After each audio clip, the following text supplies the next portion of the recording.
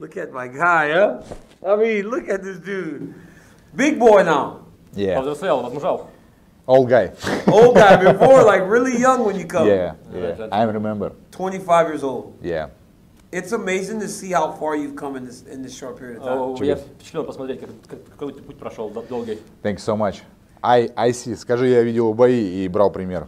I I was watching your fights and I was using you as an example. Back in the day when you you were a young kid in AKA training with me and Kane, like there was always something we just didn't know that it would become this. Э, Когда раньше занимались в кейс с Кейном Веласкесом, э, я ра- никогда не, не- не знал, что ты так дойдешь до такого уровня. Главное трудиться и верить в себя. It's all about believing in yourself and putting hard work in. Yeah. Sergey, I gotta ask, this in this second run, it's been like the most amazing thing I've ever seen. How? What changed to where you became this absolute destroyer? А, Я наблюдал за твоим путем, у тебя очень успешно, только в гору идет. Что ты думаешь, главный атрибут, почему у тебя так все хорошо получается? Что, в, в- в чем твой основной з- залог победы? Пахать как конь. Just working hard like a horse. You know, he's always hit hard, right? But to be able to put it into action, what has he changed in his preparation from before? I understand hard work does equate to everything, but what specifically has he done to change that?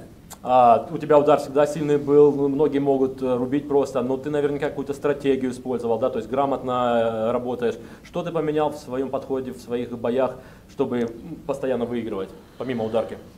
Ну, стал более профессионально смотреть на подготовку, разбирать, э, начал отсекать лишнюю работу ненужную. Нужно делать, скажем так, ты можешь делать большой объем работы, из этого большого объема работы только 10% то, что тебе надо.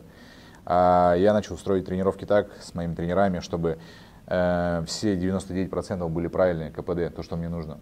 Ребята, кто шарит в спорте и хочет разобраться, как на хобби можно грамотно подняться, выбирайте хорошего букмекера с международной лицензией MostBet. У них, кроме бонуса на первый депозит в 25 тысяч, сейчас действует крутой бонус – беспроигрышная ставка. Если не повезло в первый раз, ничего не сгорает, вы ничего не теряете и просто пробуете еще раз. Дальше лучше. Поддержка 24 на 7. Спецы отличные и лично впрягаются за каждого игрока, даже как-то душевно. Это раз. Моментальный вывод средств – это два. Удобное пополнение счета – это три. Так что MustBet собирает комбо. А также у ребят есть закрытый телеграм-канал, где разыгрываются крутые призы. Обязательно заходите. Переходите по ссылке в закрепе, используйте промокод CHAIL и забирайте все ништяки по максимуму.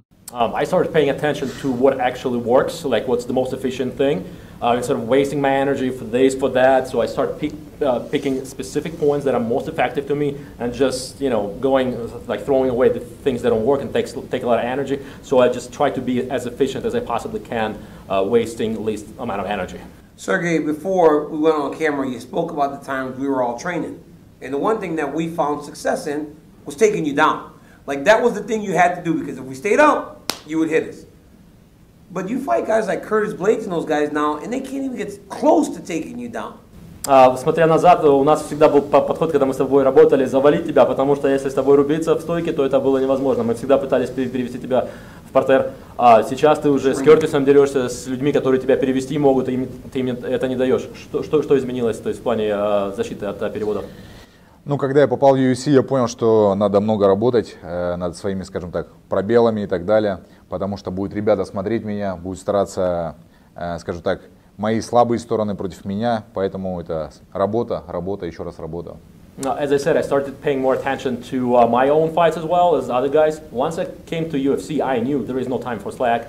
And if the guys, other guys see my performance, they see my fights, and there's some short, something, um, you know, my drawbacks, they can use that to benefit on that. So I needed to fill up all the gaps. all Don't the worry, gaps. bro.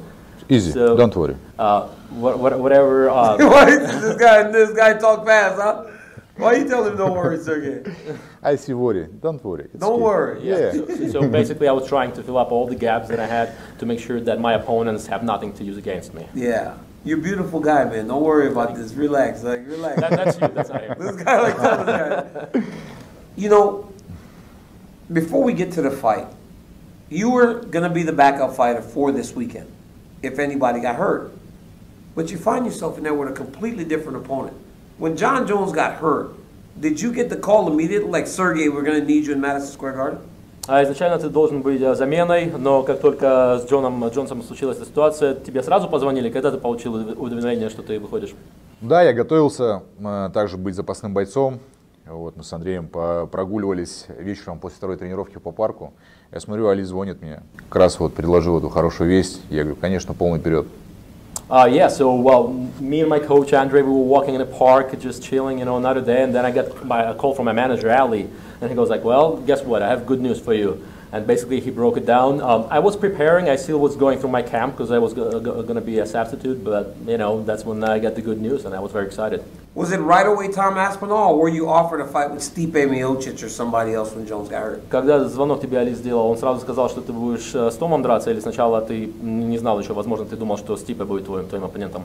Не, я сразу сказал, что с Томом. No, they, they, they told me right away it's going to be Tom. And what was your thought when you knew it was Tom Aspinall? И как только ты узнал, что это вот Тома Спинал, что ты в голове твоей, что, что было мысль? Мне не важно, мне главное пояс. I don't care who opponent is. У Даниила Кормье два пояса, по-моему, или сколько?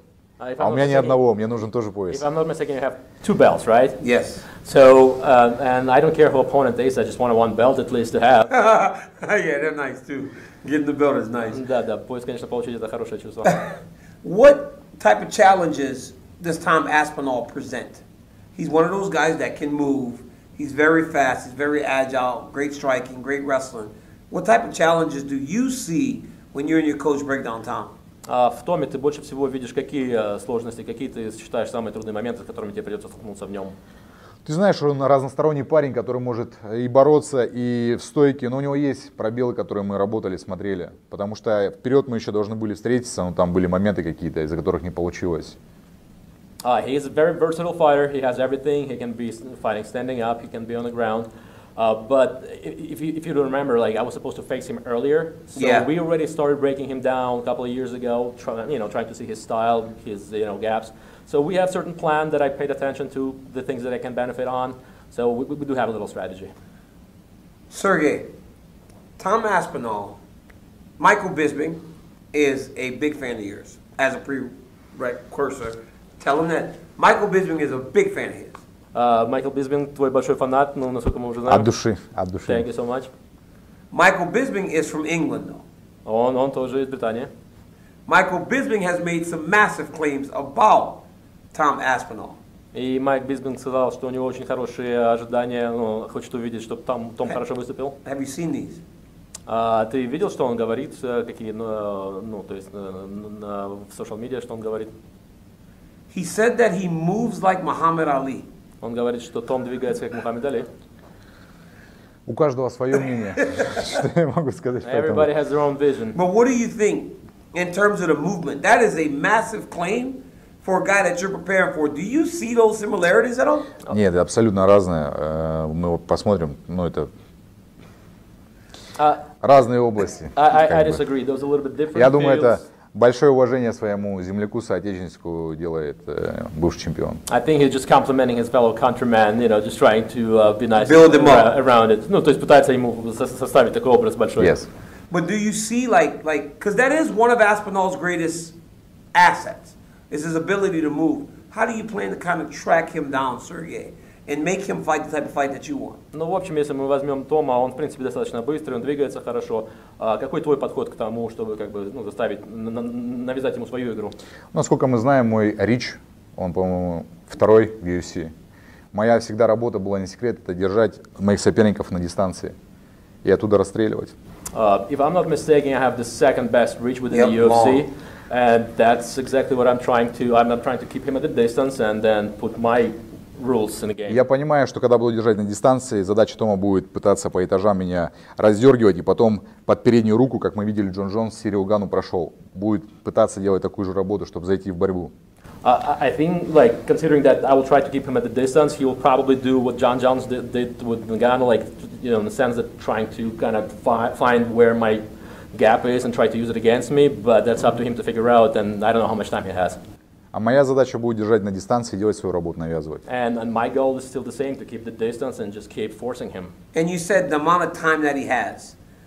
How much did it benefit you that although it didn't go your way, but to make your debut against a guy like Alistair Overeem, how much did you learn in that fight that's allowed for you to become the guy that you are today?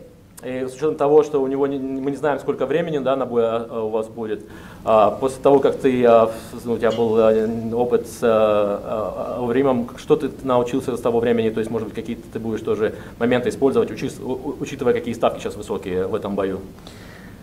Ну, с учетом Америма, я ж ни в коем случае не оправдываюсь, то, что я там проиграл и так далее, я проиграл, вопросов нету. Но там была большая проблема, то, что я непрофессионально относился, скажем так, к своей карьере, и на вот этом юношеском максимализме нужно было лететь за две недели, и я поймал джетлаг.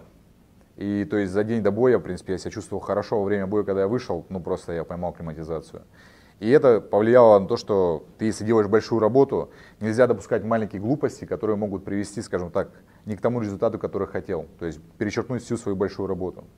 Uh, as you said earlier, I'm not the young guy anymore. So back then I was very inexperienced, and basically approaching that fight, I didn't come, you know, ahead of time. I just flew in right away, and I Yeah, thought like yeah. I'm gonna force it Young guy. through. I am like still powerful, so there was no strategy really, no canning. So now I really approach things differently. I really take this thing seriously. This is my living. This is my profession, and I break it down. So now I approach everything, you know, with the proper cold head. So th- th- this time it's just I prepare much better, and you know I'm just in general overall take things more seriously. And what if the fight goes long? Like, what if Sergey, uh, what if Sergey can't get him out of there in the first round? There's people that believe that if Tom can extend this fight, that's where he holds the advantage. What does Sergey say to that? А, некоторые люди считают, что если, допустим, в первом раунде бой не закончится, если пойдет во второй, в третий, то это Тому на руку играет. А, ты с этим а, мнением согласен или нет? Нет, конечно, я готов на все пять раундов. Uh, I disagree. I'm ready for all five rounds. Yeah, I know he is. I can tell. Look at him. Я вижу в твоих He's a глазах, fucking killer, что, huh? что- что ты готов на все he's, a пять раундов. fucking, he's a killer. Um, Убийца, убийца. do you feel, this is my thought, right? I feel like the person that wins this title this weekend is the heavyweight champion of the world. Because Jones, Miocic have both said this could be their last fight. Does he feel like this title is for just, not interim, just the heavyweight championship? А, Повторный вопрос. Многие люди считают, что поскольку а, бой Стипе и Джон Джонса отложился, то сейчас у вас промежуточный. А, Ты воспринимаешь это как промежуточный или для тебя это считается как, ну, действительно ты дерешься за, за бой в своем весовой, весовой категории, за, за пояс? Для меня это настоящий пояс.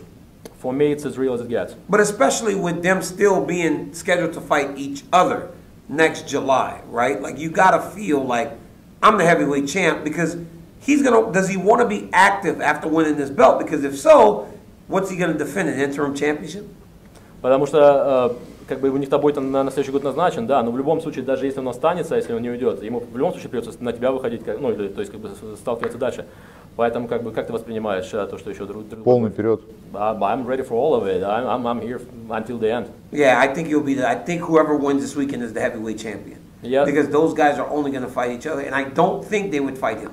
А, Я считаю, что тот бой, в принципе, значения не имеет, что вот что будет в эту субботу, это действительно настоящий бой за титул. Я считаю, что так, потому что еще неизвестно, как у них там все сложится. Сто процентов. I'm, I'm, I'm agreeing with it completely. It's too dangerous. Потому что там еще непонятно, что у них будет. right? It's too dangerous at a time. I mean, Jones even said it. Jones said that he doesn't necessarily want to be in there with these guys. И Джон сам сказал, что он ну, не очень как бы хочет с тобой либо со финалом столкнуться, то есть он просто из-за типа. Я все прекрасно понимаю. And I totally understand that. Hey, you, know you've grown. He's grown, but his hands have grown too. Tell him I don't remember his hands being that big. Ты, ты, ты вырос, но я смотрю, и руки тоже выросли. fuck? Типа, я не помню, чтобы они такими большими были. This one, let me see. oh, look at this shit! I mean, dog, what in the actual? What happened? Что случилось? Что ешь? Секретное упражнение. Secret exercise. Ребят, вы это видели? Вот это вот настоящий тяжеловес, дамы и господа. Хоть я и был чемпионом в тяжелом весе, я не тяжеловес. А этот парень, да, и он подерется за чемпионский пояс.